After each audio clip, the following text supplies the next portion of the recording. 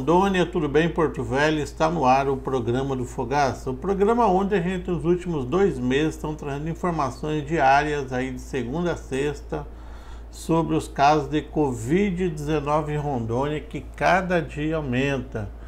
É, chegamos aí a um número de 8.626 casos e 245 mortes em Rondônia. Boletim da Gevisa da CESAL informa que Rondônia chegou ao número de 8.626 casos confirmados de Covid-19. Pacientes recuperados também já passou de 3.000, 3.131 pessoas já recuperadas aí, que já conseguiram se livrar do vírus é, óbitos, 245 pessoas vieram óbitos. Nas últimas 24 horas vieram 10 pessoas a óbitos. Pacientes internados na rede pública estadual, 246. Na rede privada, 80, ou seja, no particular, 81 pessoas. Na rede pública municipal, 19 pessoas Total de pacientes internados, 346 pessoas. Pacientes, é, testes realizados, um total aí de 27.604 testes. Aguardando o resultado do LACEN, 141 pessoas. Dos 8.626 casos confirmados de Covid-19 em Rondônia, são nos seguintes municípios: Porto Velho, repetindo, Porto Velho está com 5.495 casos. Nas últimas 24 horas foram 334 pessoas aí infectadas. Ariquemes, 568 pessoas. E nas últimas 24 horas foram 18 pessoas infectadas. São Miguel do Guaporé, o pequeno município de São Miguel do Guaporé, está com 481 casos e nas últimas 24 horas tiveram mais 12 casos. Guajaramirim, 404 casos. Nas últimas 24 horas, 16 pessoas a mais foram infectadas. Candeiro Jamari, que vizinho de Porto Velho, que também está com lockdown aí da, do governo do estado, decreto do governador, 244 pessoas. E nas últimas 24 horas tem mais 7 pessoas. Ji Paraná, com 180 pessoas é, que estão infectadas. E nas últimas 24 horas tiveram duas pessoas. Jaru, Jaru deu um salto aí, está com 147 pessoas infectadas com a Covid-19 e nas últimas 24 horas tiveram mais 16 pessoas. É, Ouro Preto do Oeste, 109 pessoas infectadas e aí, boa notícia, nas últimas 24 horas aí não, tive, não teve nenhum infectado. Vilhena, 133 pessoas infectadas e nas últimas 24 horas tiveram mais 25 pessoas. Rolim de Moura também deu um salto aí, foi para 120 pessoas infectadas e nas últimas 24 horas mais 25 pessoas também infectadas. Cacoal, 92 pessoas com 5 infectadas. Lembrando que Cacoal é um polo regional, todas as pessoas que precisam de UTI da cidade de Espigão do Oeste, Pimenta Bueno, Rolim de Moura, São Miguel, Alta Floresta, região, são todos encaminhados para a cidade de Cacoal, que está com seus leitos de UTI 100% lotado desde a última quinta-feira. Mas o bom em Cacoal, a boa notícia é que a maioria dos, das pessoas que estão infectadas em Cacoal já, já estão curadas. Nova Mamoré, 50 53 pessoas, nenhum infectados, foi até tirada um da lista na, nas últimas 24 horas. É, Pimenta Bueno, 54 pessoas, também não teve nem, nenhum caso mais nas 24 horas. Itapuã do Oeste, 50 pessoas, também não teve mais nenhum caso. É, Cujubim, 40 pessoas em Cujubim, teve mais duas pessoas infectadas nas últimas 24 horas. Buritis, 48 pessoas, teve mais 11 pessoas infectadas lá em Buritis. Espigão do Oeste, 35 pessoas, teve mais 4 infectados. Mirante da Serra, 28 pessoas, teve mais 3 infectados. É, Montenegro, também 28 pessoas e teve mais 6 infectados. Urupá tem 22 pessoas e, graças a Deus, nenhuma pessoa infectada mais nas últimas 24 horas. São Francisco do Guaporé, que fica ao lado lá de São Miguel do Guaporé, tem 24 pessoas infectadas e 4 pessoas infectadas nas últimas 24, nas últimas 24 horas. Alto Paraíso, 22 pessoas e 3 novos casos lá nas últimas 24 horas. Campo Novo de Rondônia, 21 pessoas infectadas e duas nas últimas, nas últimas 24 horas. Machadinho do Oeste, 18 pessoas infectadas e nenhum caso nas, nas últimas horas. Alta Floresta, Alta Floresta do Oeste, 19 pessoas infectadas aí e três novos casos. Alto Alegre dos Parecis, aí 30 casos e aumentou 50% lá. 15 novos casos, que tinham 15 onde, hoje passou para 30. Cerejeiras, 14 casos, nenhum caso registrado nas 24 horas. Vale do Anari, 16 casos, registrando mais dois casos nas últimas horas. É, Novo Horizonte do Oeste, 14 casos e registrou mais um caso. É, vale do Paraíso, 11 casos, e acabou tirando um da lista aqui, menos um. Então, nós, devia estar errado o número aqui. Governador Jorge Teixeira, 10 casos, com mais um caso nas últimas 24 horas. Nova União e Teobroma registram 9 casos cada município e não registrou nenhum nas últimas 24 horas. Pimenteiras do Oeste e Nova Brasilândia registra oito casos e sem nenhum registro nas 24 horas. É, Chupinguaia, sete casos, sem registrar novos casos. É, Costa Marques, sete casos, registra mais um caso nas últimas 24 horas. Santa Luzia do Oeste, registra sete casos, mas nenhum nas últimas 24 horas. É, Primavera de Rondônia, cinco casos e menos um. É, Rio Crespo, seis, seis casos e mais nenhum caso nas últimas 24 horas. Presidente Médici, cinco casos e menos um. Cacaulândia, cinco casos e nenhum caso nas últimas 24 horas. É, Alvorada do Oeste e Curumbiária, cinco casos, registrando mais, cada estado registrou mais um caso nas últimas 24 horas. Cabixi registra três casos e nenhum mais. É, Colorado do Oeste, dois casos nenhum mais. Ministra Adriasa, dois casos nenhum mais. São Felipe do Oeste, Seringueiras e Teixeirópolis registra um caso cada cidade e nenhum registrado nas últimas 24 horas, perfazendo um total de 8.626 casos de coronavírus, com 516 novos casos registrados aí no, nesse em Rondônia.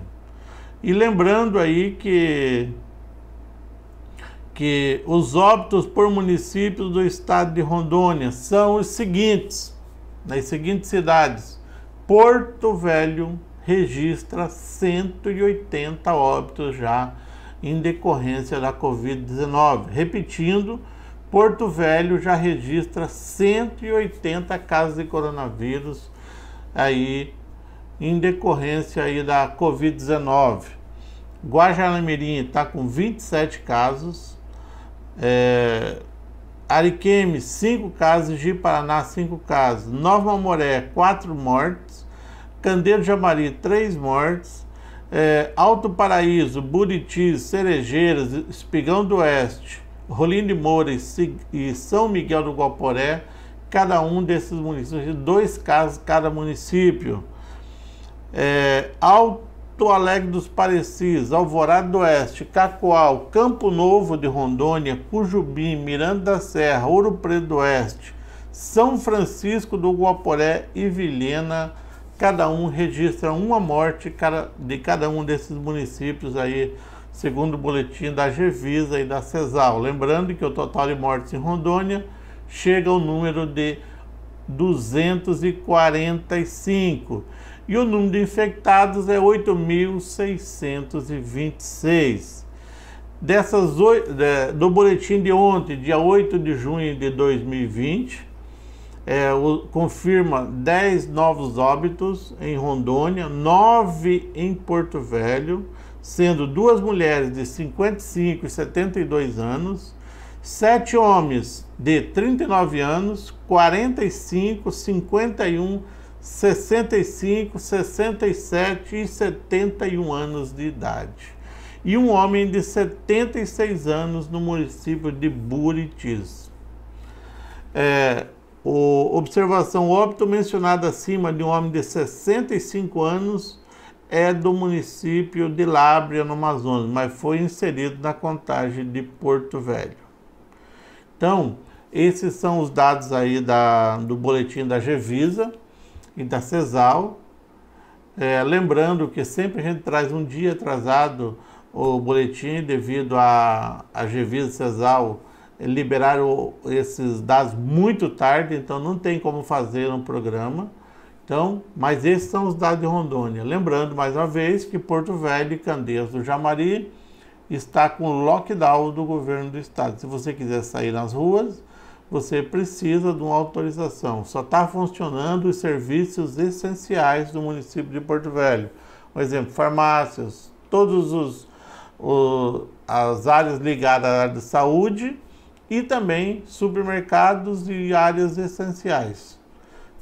Assista agora uma entrevista aí com o presidente da Câmara Municipal de Porto Velho, Edilson Negreiros, que fala um pouco aí, que fala sobre o coronavírus em Porto Velho, fala também sobre a possível contratação do Hospital da Astir pela Prefeitura, também fala aí sobre o Hospital do Amor, que pode ser contratado, fala também da morte do vereador Edésio Fernandes, e a convocação do, do primeiro suplente de vereador.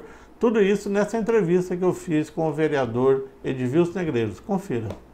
Você está assistindo Programa do Fogaça, no oferecimento de site O Observador e Rádio Rio Madeira. E muito bem, você que está ligado no programa do Fogaça, aqui para Porto Velho, através do, da das duas TVs aqui de Porto Velho, através você também através da Rádio Rio Madeira e você através da TV Gazeta Gi Paraná. Nosso muito obrigado pela sua audiência, obrigado pelas suas ligações, obrigado aí por por audiência todos os dias. E agora a gente está na ponta da linha aqui com o presidente da Câmara Municipal de Porto Velho, o vereador Edvilson Negreiros, que vai falar um pouquinho aí sobre a Câmara Municipal de Porto Velho vai falar um pouquinho sobre as ações, as ações da Câmara Municipal nesse momento aí difícil para Porto Velho, onde estamos em lockdown. E também vai falar um pouco daqui a pouco, mas no final vai falar sobre a morte do vereador Edésio, Mar... Edésio Fernandes e sobre convocação de suplente. Tudo bem, vereador? Tudo bem, Fogaça. Bom, bom dia. Que Deus abençoe você. Quero aqui Bem. agradecer a oportunidade, parabenizar você pelo programa. Obrigado, vereador. E também dar um bom dia a todos os nossos telespectadores aí que estão nesse momento ao vivo. Eu tenho certeza que o programa que você faz diariamente levando tudo de utilidade para a população de Porto Velho e de Rondônia, né? Também. Isso. Porto Velho, de Paraná, Candeso, Jamari, Ouro Preto e Presidente Médici. Tudo aí. Pois é. Vereador, como que tá, como que, o que, que a Câmara está atuando nesse momento de pandemia no município de Porto Velho? Um momento difícil para a população, onde temos aí mais de 5 mil pessoas infectadas, é, quase 200 é, mortes no nosso eu, município. Eu, é verdade, é uma, uma tristeza para nós nesse momento, a gente está enfrentando essa pandemia, né? Um problema mundial, no mundo todo. Infelizmente, no Brasil, cada dia mais aumentando os casos, principalmente aqui em Porto Velho, que não é diferente, né? Mas a gente tem feito o nosso papel como representante do povo de Porto Velho, Estamos atuando aqui, não só eu, como todos os 21 vereadores, agora somos 20, né? Nesse momento. Tivemos aí uma, uma perca irreparável, um companheiro, que já já nós vamos adentrar no assunto. Mas os 20 vereadores estão todos e também saudoso pastor Edésio também vinha lutando, trabalhando em prol do nosso município. A preocupação nesse momento, Volgaça, é na questão da economicidade. Nós estamos fazendo uma economicidade no mês de abril, nós não tivemos gasto nenhum, com nenhum tipo de recurso da casa em termos de verba indenizatória. É, fizemos uma reunião em conjunto com todos os vereadores, decidimos também cortar 30% da verba indenizatória que aí vamos ter uma economicidade de um milhão de reais. Esse dinheiro já é repassado para combater a pandemia. E tudo aquilo que tiver de economicidade também em outros processos administrativos também será feito ao repasse para o município para fazer compras de insumos ao combate ao Covid-19. Então, a nossa preocupação nesse momento, nessa questão, e na questão administrativa da casa, a casa está tomando todas as devidas providências no sentido de ajudar no combate dessa pandemia. Né? É, estamos aí, é, votamos na semana retrasada a questão da autorização para o prefeito poder fazer a contratação do hospital de campanha. Nós não temos aqui condições, a prefeitura não tem uma estrutura rápida para isso. Então existe aí duas possibilidades, que seria a ARTI, né, nesse momento, que a prefeitura está em conversação, para ver se aproveita a estrutura dela, para poder é, comprar os leitos e fazer é, um trabalho de eficiência e rapidez para poder atender os casos é, mais complexos, que são aqueles é, é, é, pacientes que precisam do leito com UTI e os leitos com oxigênio, né, que são os ambulatórios. E também tem o Hospital do Amor, que está tendo uma conversa também, a prefeitura, o prefeito está tendo uma conversa com o Hospital do Amor, para ver se o Hospital do Amor também monta uma outra estrutura, que não tem nada a ver com aquela da Assembleia Legislativa, mas que uma outra ala, para poder também atender nessa questão. A prefeitura fez um chamamento na semana passada, é, como houve aí a desinformação, muita, muita, muitos hospitais não tiveram acesso e acabaram passando em branco, aí teve que republicar novamente o chamamento para que os hospitais interessados apresentem as propostas, né, para poder vender esse serviço. Então a prefeitura está tomando as, as devidas providências, nós estamos acompanhando, fiscalizando. Nesse momento agora é dar o apoio necessário para aqueles casos que já estão apresentando os sintomas para a prefeitura é, é, fazer o fornecimento do medicamento, do kit, né? Que é muito importante nesse momento. E estamos acompanhando essa questão do, do, do, também da entrega dos medicamentos, fiscalizando, conversando. Inclusive, agora há pouco tivemos uma, uma reunião onde participou a secretária de saúde, alguns empresários, é, e foi muito produtiva. E o importante agora é unirmos força para combater essa pandemia que nós estamos enfrentando. Esse momento agora é um momento perigoso. Porto Velho foi necessária a questão do lockdown por conta do aumento de casos que estavam não estava tendo suporte aqui para em UTI nem particular. Nós tivemos aí alguns desesperos de, algum, de alguns hospitais que não tinham medicamento para fazer o combate tiveram que pegar emprestado de alguns outros hospitais, porque tá faltando os insumos no Brasil todo, a demora para entregar esses insumos tá demais. Algumas empresas que ganharam licitação na prefeitura ainda não conseguiram entregar. E esse é o grande problema que nós estamos enfrentando também, né? Mas eu tenho certeza que com agora com essa questão desse, desse distanciamento que nós vamos ter essa semana, dessa mudança da rotina de Porto Velho, aproveitando esses dois feriados aí, já emendando, né? Então vai ser produtivo, acredito, lógico. Não diminuiu o atendimento das UPA. Tive hoje em contato com a diretora da UPA ela me disse que fez foi aumentar. Mas eu falei para ela e ela também concordou comigo quando eu disse para ela que tem muitos casos aí, muitas pessoas que estão sentindo sintoma e começam a se desesperar, porque o problema maior hoje, além da, da, da doença, Fogaça, é o psicológico nosso. Você, enquanto você não vai ali fazer um teste, você não consegue fazer o teste, ou você não é atendido pelo médico, para ele te orientar é, clinicamente, você acaba se desesperando. Então, esse é um dos maiores. Hoje, o problema maior, além da, da pandemia, é a ansiedade e também o início de depressão, porque muitas pessoas acabam colocando isso na mente, começa a ter problema psicológico e acaba a, a, a, enfrentando uma depressão sem nem saber que está enfrentando a depressão. Vereador, eu vejo assim o seguinte, ó, eu vou falar para o senhor assim, assim, bem assim, bem claro assim. Eu já pensei que eu peguei coronavírus várias vezes durante essa quarentena, porque às vezes você dá uma febrinha e fala, meu Deus, agora peguei o coronavírus. E depois vê não é nada.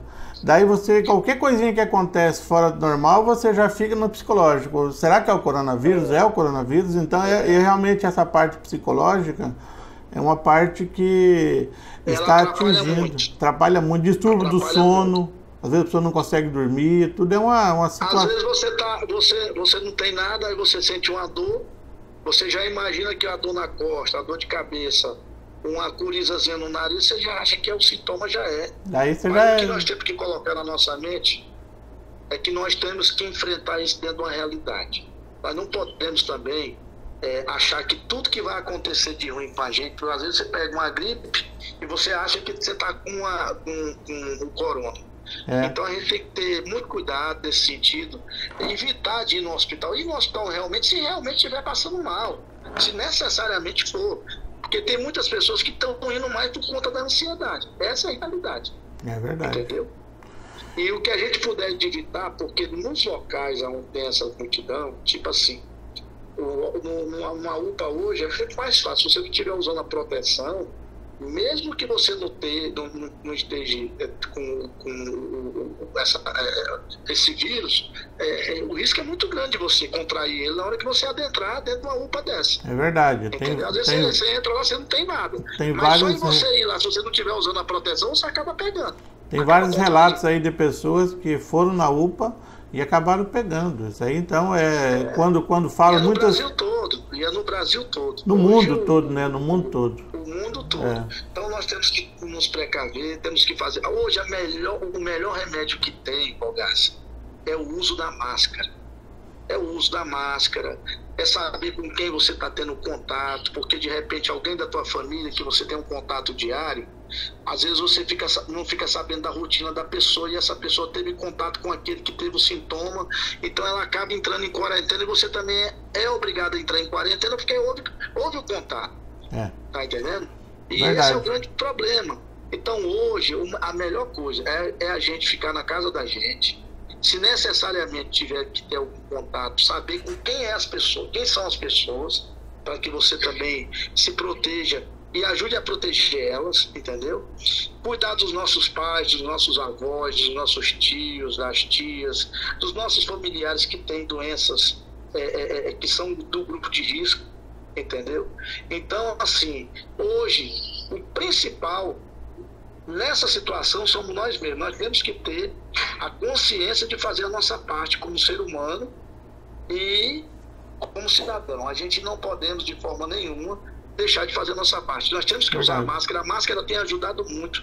Em todos os lugares do mundo, em todos os relatos que era hoje, é o principal remédio. 90% ela protege. Essa é a realidade. Verdade. Mas, vereador, deixa eu, deixa eu perguntar com você, como que está a situação aí das sessões da Câmara Municipal? Está sendo remota ou está parada? Como é, que tá? então, as, não, as sessões estão acontecendo remotamente. Nós não tivemos sessão essa semana, até por conta do, do, dos três dias de, de, luto que foi decretado, né? Hum. É, em homenagem ao nosso saudoso vereador Pastor Edésio que é uma que nós vamos já entrar no assunto você está uhum. me perguntando, mas nós estamos Isso. trabalhando, nós estamos trabalhando normalmente, estamos fazendo a sessão é, é, remota, né, gravada, cada vereador é, no seu celular e eu lá na Câmara presidindo direto o plenário, né, o vereador Jacaré, que é o primeiro secretário, também nos ajudando lá, presente, e também o pastor Edésio, quando estava né, teve na semana retrasada, ele teve lá junto comigo, né, e o vereador Marcelo Reis, que são os três, é o primeiro secretário é o Jacaré, o nosso saudoso pastor Edésio era o segundo secretário, e o Marcelo Reis, vereador, é o terceiro secretário hoje da casa. Né? É. Mas deixa então, eu, já, já um, é... vamos entrar aqui no assunto do, do vereador pastor Edésio, saudoso,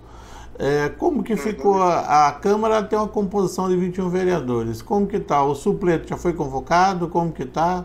Vai ter vai ter ter uma eleição para a vaga do pastor Edésio? Como como que é? é pra, na mesa diretora? Deixa deixa eu te explicar. Primeiramente, eu quero aqui relatar da perca irreparável de um grande ser humano, de um grande cidadão, de um homem trabalhador, um homem de Deus, que ele era evangélico, que representava a Igreja Universal do Reino de Deus, em nome da, da Universal, lógico, todas as outras igrejas evangélicas. Mas assim, o pastor Edésio tinha um, deixa um legado de um cidadão que, enquanto exerceu o mandato de vereador, é, o que eu vi, que eu presenciei testemunhei, a, a consciência dele e a dedicação dele pelo próximo. Então, uma pessoa super-humana, deixava de se cuidar para cuidar dos outros. E assim ele também atravessando um momento difícil em vida, com a, a, um câncer, que a mulher dele estava em tratamento e ainda está, a viúva, né, em tratamento. E ele sempre falando para mim que tudo aquilo era uma prova que Deus estava botando no caminho dele, mas que tudo ia ser, ser superado, a questão da cura da mulher dele. E ele tinha um problema de saúde, ele vinha sofrendo, tinha gastrite, né? E hum. acabou, e por isso que eu te falo, Alfogaça, às vezes, às vezes a gente acaba esquecendo da gente, se preocupa muito com os outros. Na Bíblia fala que você, do, do, do segundo mandamento, fala que você tem que amar o próximo a, como a si mesmo.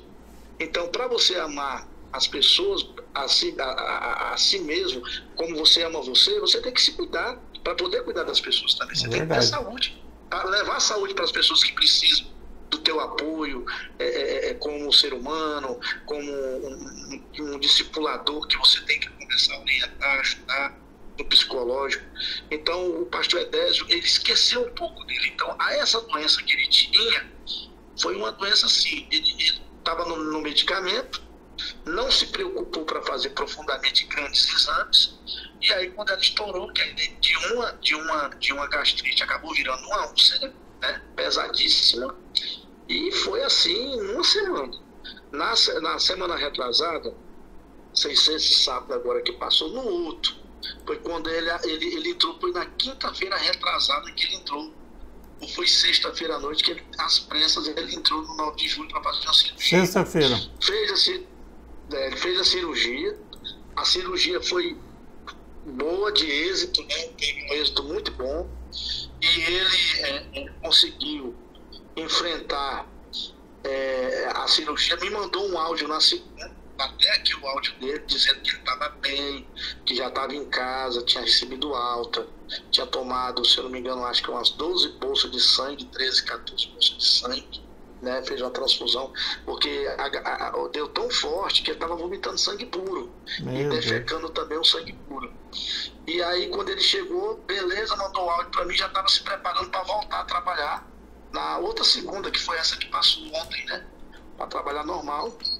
Aí, de repente, quando foi na sexta-feira, na quarta-feira, na, na quarta-feira, ele voltou novamente para o hospital, só que ninguém ficou sabendo de nada. Eu só tomei conhecimento de fato mesmo que ele estava muito mal na sexta-feira. E quando o pastor da igreja, o bispo da Igreja Universal, passou as informações para mim na forma do estado de saúde dele, quando ele terminou de falar comigo, era três e meia, quatro horas da tarde, com dois minutos depois ele me liga dizendo que ele tinha acabado de falecer. Então eu fui a primeira, a, a, a primeira pessoa pública a ter conhecimento foi, foi a minha pessoa. Dali eu passei a informação para todos os vereadores. Então foi um baque muito grande, foi assim, uma surpresa, é um acidente, como se fosse um acidente. Você está bem aqui, de repente você sofreu um acidente e morreu. Né? Até lembrei do caso do meu tio, a, a, a, hoje, amanhã está fazendo 18 anos da morte do meu tio, do Helenilson Negreiros. Eu até falei para o pastor lá da igreja, da Universal, do bispo pastor, o meu tio, quando morreu, faleceu, ele só tinha seis meses como vereador.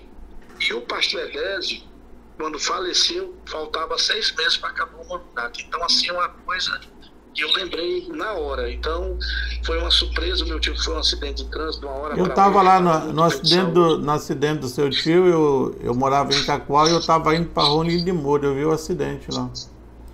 Pois é, você falou para mim onde é, nós conversando, né? Você está é. relembrando agora então. É.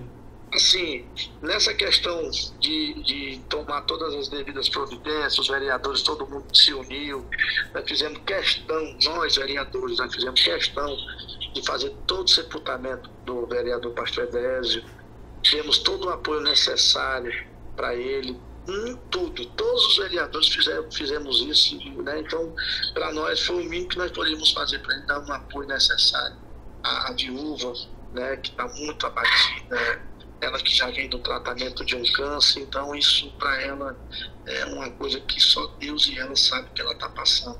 É verdade. Isso é difícil. Agora, é falando no, no, lado administrativo, essa semana é uma semana que a gente está respeitando o luto do vereador, né? temos que respeitar o luto da, da viúva, e na semana que vem é o tempo que passa o lockdown. A Câmara vai tomar as devidas providências necessárias, lógico, o parlamento não pode ficar é, com nenhuma baixa, né? temos que ter um representante eleito pela democracia, pelo povo de Rondônia, de Porto Velho, né? que é o primeiro suplente, iremos fazer a convocação, a convocação tão logo para que ele tome posse como representante do povo na o, Câmara Municipal. Então, o primeiro suplente é o Valdemar Cavalcante de Albuquerque Neto. Valdemar Neto. Pois é, eu ele vou tem... para você. Eu não, eu, não, eu não tenho, ainda não tenho esse conhecimento, quem é o primeiro suplente, as informações que a gente tem é que me parece que é o, esse rapaz, que é o Valdemar. Aqui eu tava, eu estou vendo nas redes sociais aqui, Valdemar Neto foi candidato a vereador de Porto Velho pela coligação PRB nas, é, Porto Velho tem jeito, Valdemar Cavalcante de Albuquerque Neto, 33 anos, nascido no uhum. dia 27 de 2 de 87, ele é natural de Ariquemes uhum. e, segundo informações, atualmente ele mora na cidade de São Paulo. É, então a gente vai tomar as devidas providências necessárias na semana que vem, né? Mas essa semana agora nós estamos enfrentando esse lockdown, até a Câmara está fechada, nós não temos expediente interno nem, nem normal, até por conta do, de, desse decreto do governador, estamos respeitando. E nós já tínhamos decretado antes do decreto do governador, aproveitando esse feriado agora, e como os casos vinham aumentando em Porto Velho, a gente já tinha tomado a, a decisão de decretar o lockdown na, da Câmara, né? Uhum. Na parte administrativa da casa. Mas assim, Fogaça, a gente fica pensando assim, como é que é a vida da gente?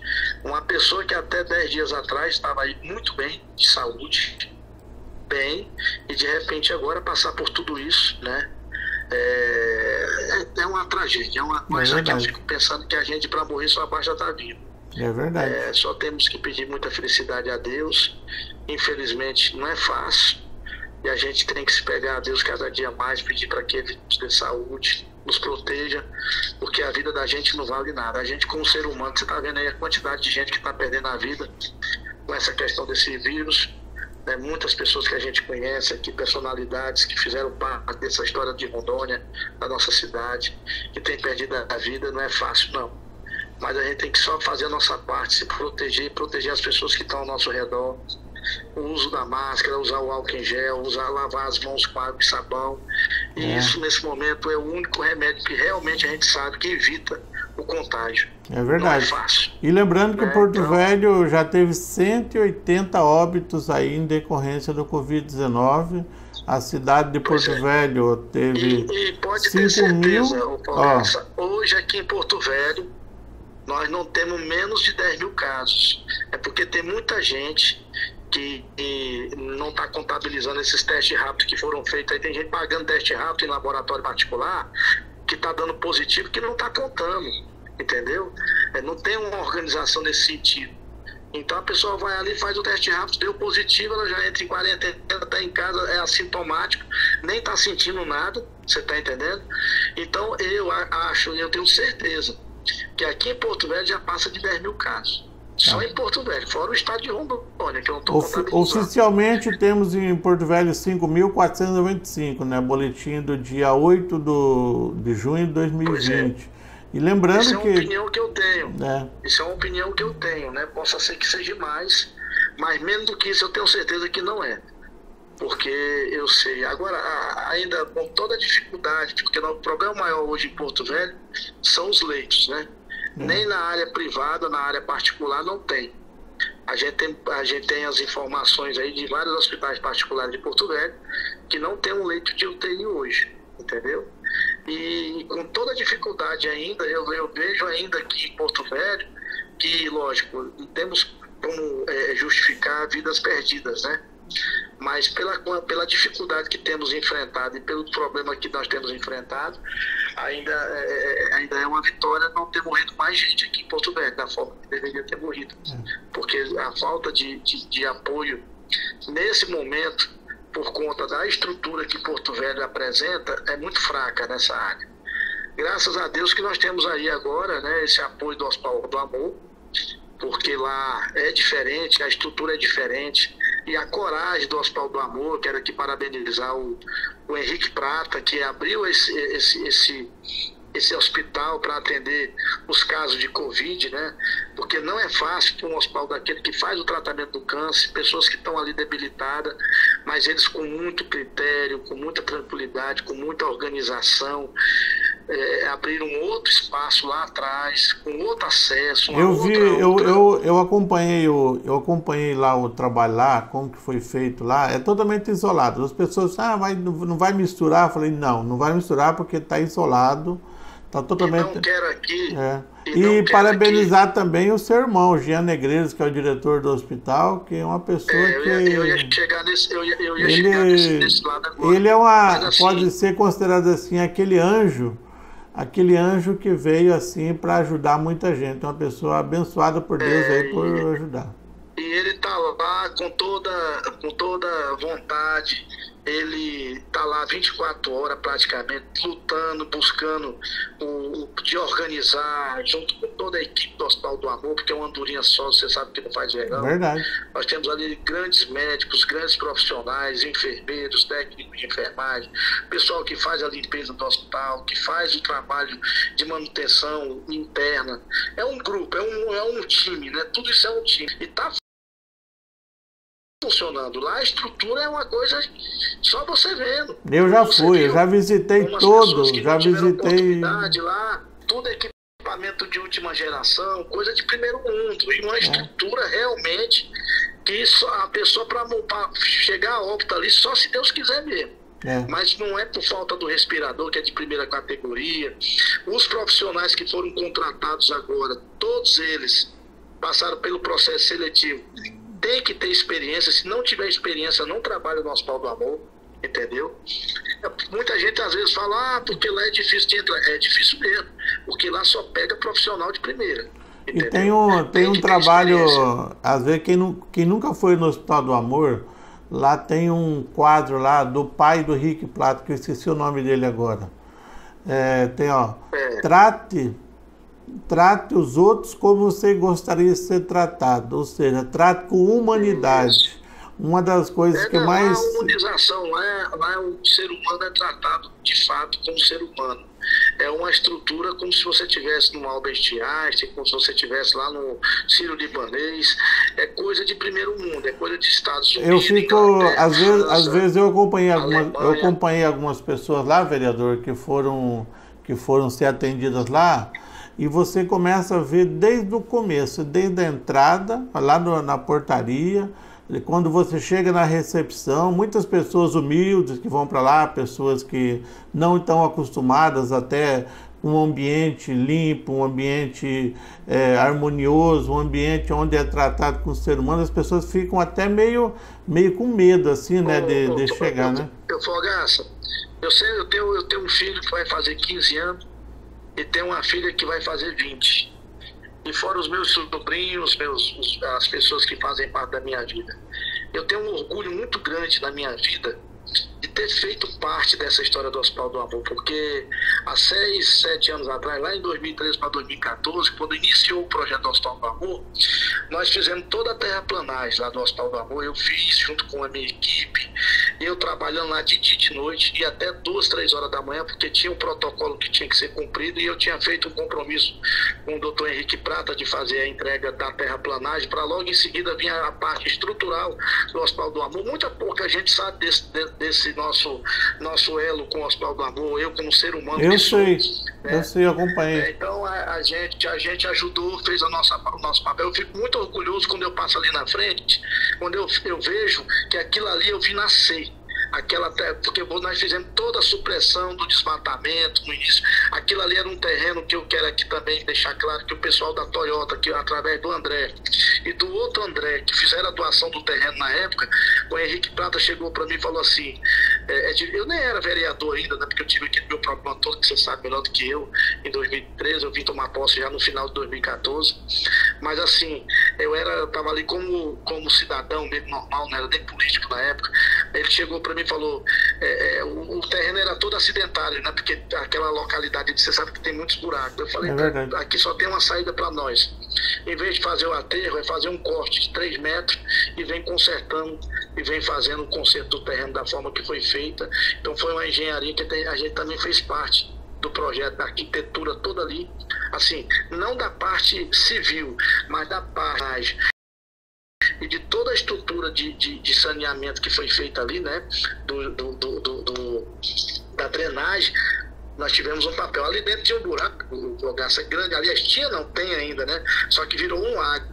E foi uma ideia que nós tivemos lá junto com o Henrique Prata na época. Então, não, quero fazer um lago grande aqui nesse buraco. Aqui tá lá o lago, a coisa mais linda do né, que ficou também.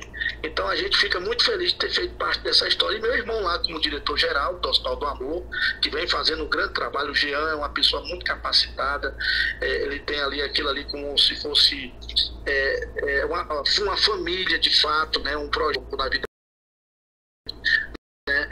Então a gente fica muito feliz de fazer parte de toda a história do Hospital do Amor. Né? Tem uma, uma, uma, sobrinha minha lá que está lá também, que é a Elisete, Elisete Negreiros, que é a doutora, que é a, a diretora da hematologia, é ela que toma de conta dessa parte hematológica da, do hospital, da, dessa estrutura. Então, nós, a nossa família, tem uma história muito importante ali dentro daquele projeto. E graças a Deus, só Deus para dar em dobro para nós. Então, a gente só tem que agradecer a Deus, ao povo de Rondônia, ao povo de Porto Velho, porque se não fosse o povo de Porto Velho e o povo de Rondônia, o Hospital do Amor não estava de pé. Eu acredito que agora, com tudo isso que está acontecendo com essa pandemia, e todo mundo vendo que como foi importante na área da, da cura do câncer, e agora também contra essa pandemia. Eu tenho certeza que se o povo de Rondônia já ajudava a sustentar o Hospital do Amor e os empresários locais, agora é que vão ajudar mais ainda. E a gente fica muito feliz. Eu só tenho aqui para parabenizar o doutor Henrique Prata, toda a equipe que faz parte da história do Hospital do Amor através do doutor Jean. Então, fico muito feliz de fazer parte daquela história também. Obrigado, vereador, pela sua participação e o programa sempre está aberto, tá? A Fogaço, trazer informações. Então. Eu quero te parabenizar pelo trabalho, não só você, porque você faz parte da nossa imprensa, foi meu amigo, foi meu companheiro de legislativo como vereador, que fez um grande trabalho como vereador. Você faz uma é. falta muito grande ali naquela casa de leis. Eu tenho certeza que no próximo mandato você está se dedicando e eu tenho certeza que você vai estar ali junto com a gente de novo.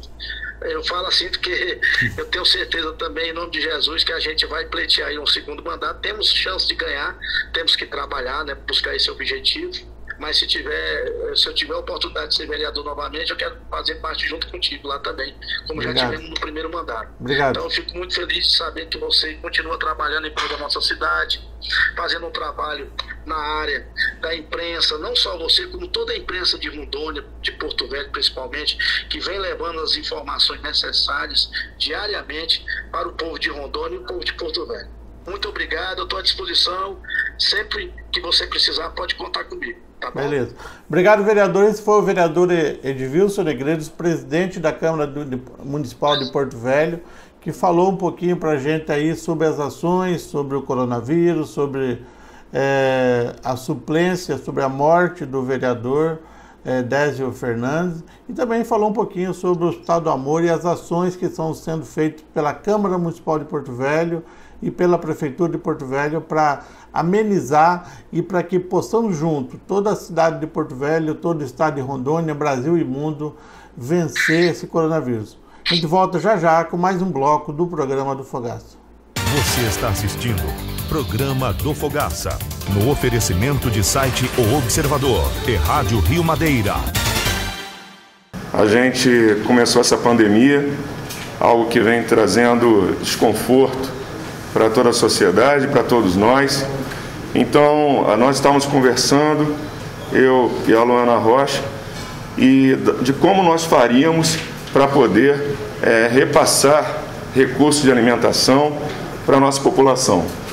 E aí nós pensamos, a equipe dela começou a trabalhar e nós vimos que a melhor forma de se fazer isso, e criou-se um nome para isso, que é o programa Amparo, né?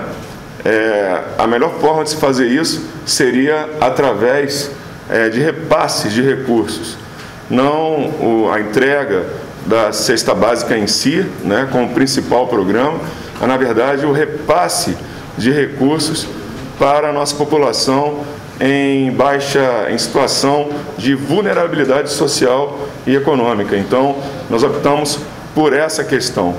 É, vou passar também a palavra agora à secretária Luana. Pode falar, Obrigada, governador. É, o programa Amparo é um programa que veio, né, com grande apoio do nosso governo do estado, né, é, é, um programa que trabalha, que vai fazer o repasse para essas famílias em situação de vulnerabilidade, famílias é, que estão em extrema pobreza, né, famílias que estão é, no cadastro único do governo federal. Então, nossa base de dados é o cadastro único do governo federal através do Bolsa Família.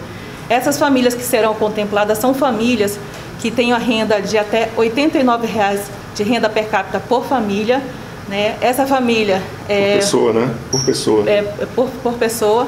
Essa família será contemplada com recurso de 200 reais em três parcelas, repassada pelo governo federal através do fundo do, FECO, do, do, governo estadual, desculpa, através do fundo do FECOEP.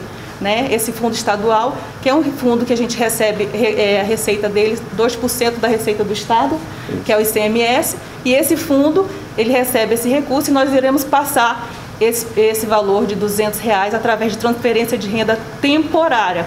Lembrando bem que não é uma coisa infinita, então é temporária mediante a condição né, dessa pandemia e mediante também a condição orçamentária e financeira do Estado de Rondônia.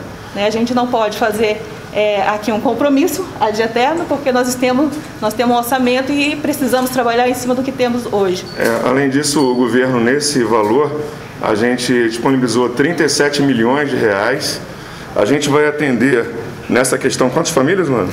A gente vai atender 48.175 famílias nesse programa, né? E é, 192.700 pessoas. É, indiretamente. 102.700 né? pessoas.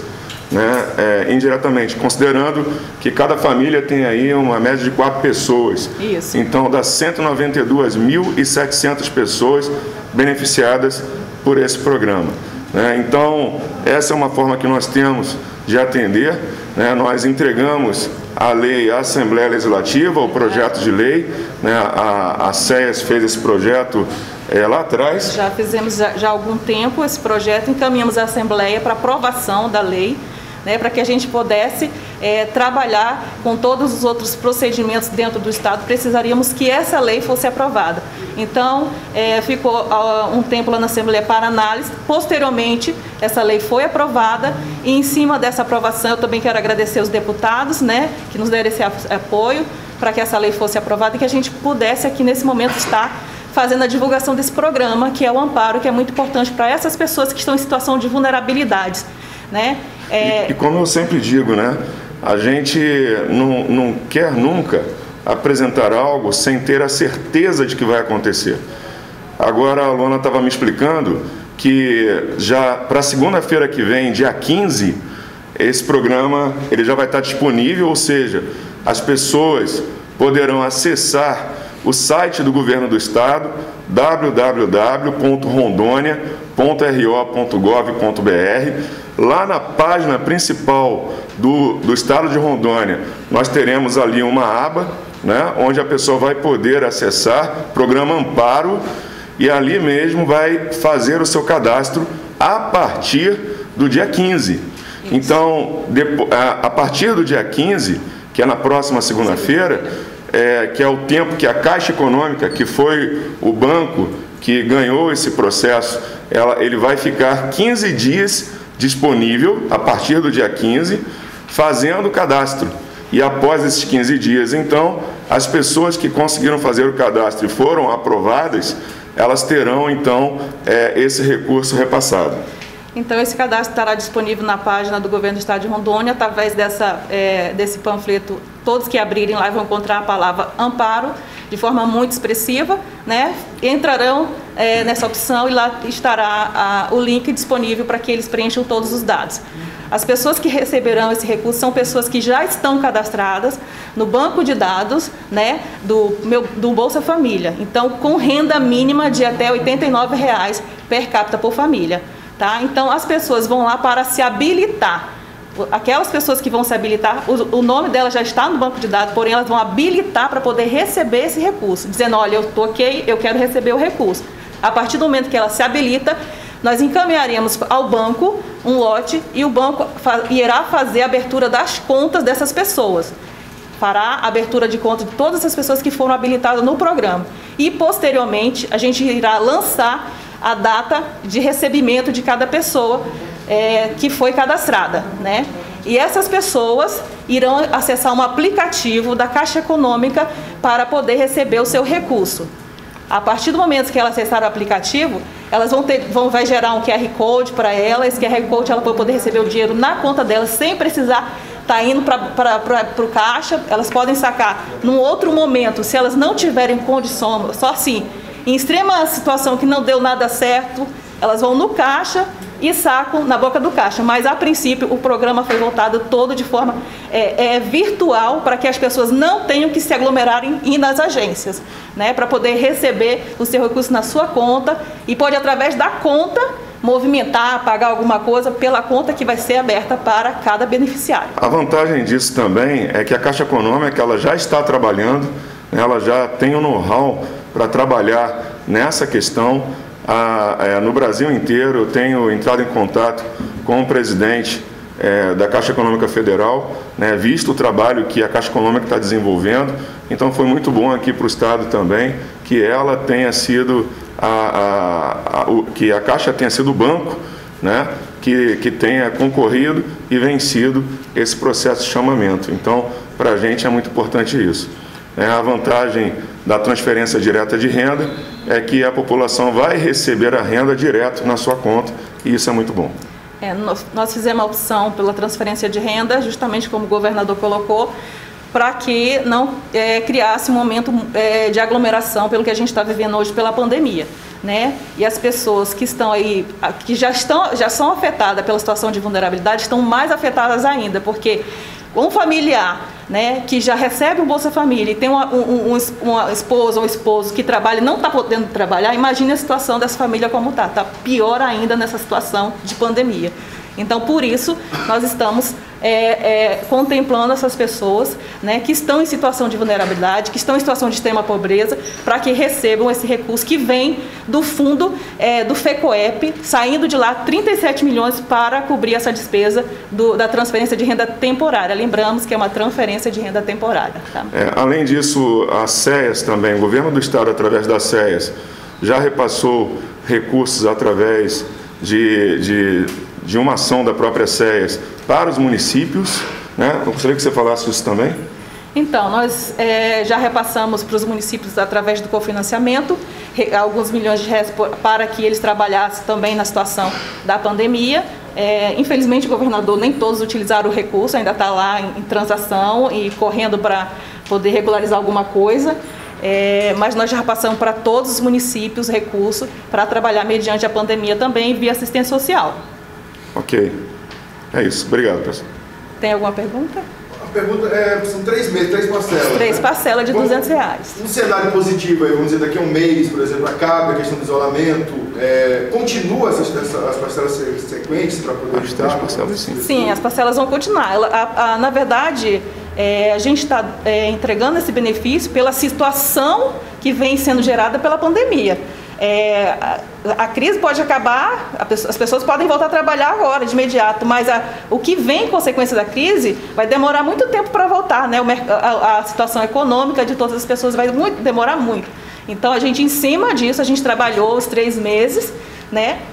baseado no orçamento do Estado, porque como eu disse aqui para o governador... Não tem então, como ser infinito. Não tem né? como ser infinito, né? então a gente tem que trabalhar com os pés no chão, né, para que a gente possa atender essa população que está muito vulnerável. E o cidadão vai com o CPF dele para é, é, verificar se ele está... Não, nesse primeiro momento ele só vai se habilitar a partir de, do dia 15, segunda-feira, é muito importante isso ficar bem claro. Segunda-feira eles vão se habilitar, entrar no site do governo do estado de Rondônia e se habilitar para receber o recurso.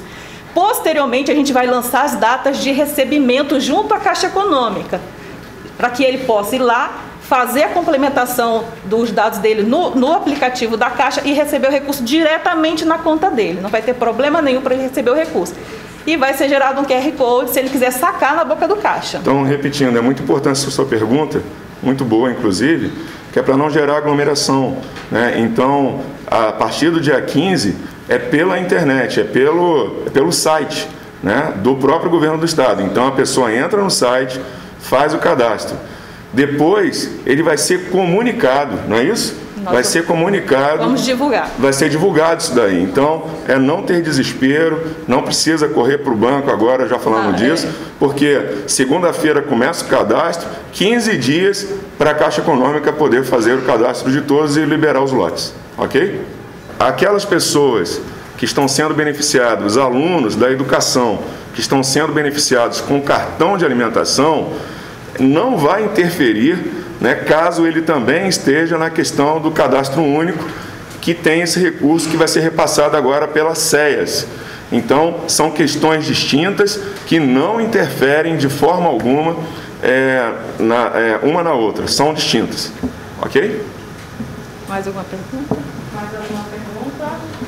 Só para reforçar, gente, as informações para vocês repassarem para a população. É, né, só lembrando, é, é importante, vou até repetir aqui, é importante lembrar que esse momento é um momento de habilitação a partir do dia 15. As pessoas só vão entrar no site do governo do estado de Rondônia para se habilitar. Né? Elas vão entrar lá, vai abrir um link, elas vão preencher o CPF né? e vai abrir o nome dela, se ela está ou não contemplada né, no, na, nesse programa. A partir do momento que aparecer que ela está contemplada no programa, ela vai fazer a opção: opa, eu quero receber. Né, eu quero receber esse recurso e autorizo a, a Caixa Econômica e Governo do Estado a abrir uma conta para que eu possa receber esse recurso. Entendeu? Aí, a partir do momento que ela habilita, me dá autorização para fazer isso, nós vamos depois pegar esses lotes, os primeiros lotes, encaminhar para a Caixa para que a Caixa faça a abertura das contas. Abriu a conta, vou dizer assim, olha, fa vamos fazer uma divulgação. O governo do estado vai fazer uma divulgação dizendo, olha, as contas estão abertas, a partir desse momento vai ser divulgado os pagamentos. Entre no aplicativo da Caixa Econômica, façam lá o seu cadastro para você receber os recursos na sua conta. Caso você não consiga receber o recurso na conta, sim, caso uma exceção, Ainda assim, vai ser gerado um QR Code, QR Code, porque essa é uma conta virtual, não tem cartão, essa conta não tem cartão. Vai ser gerado um QR Code, ele vai pegar esse QR Code, vai na boca de qualquer caixa eletrônico, né? pode ser caixa, é, é, casa lotérica, e vai sacar o dinheiro né, com aquele QR Code. Tá? Ok? Senhores e senhoras, muito obrigado, tá bom? Deus abençoe a todos nós. E um sonho que a gente tem e que a gente pede a Deus todos os dias é que a gente consiga passar logo por essa fase aí do coronavírus para voltar à nossa vida normal, a vida que a gente tinha, né, podendo ter paz, né, para poder fazer os nossos aniversários, conversar com nossos amigos, da forma como a gente fez. Que Deus abençoe a, a todos nós, todos nós que estamos trabalhando pelo bem do Estado, por todos os rondonienses.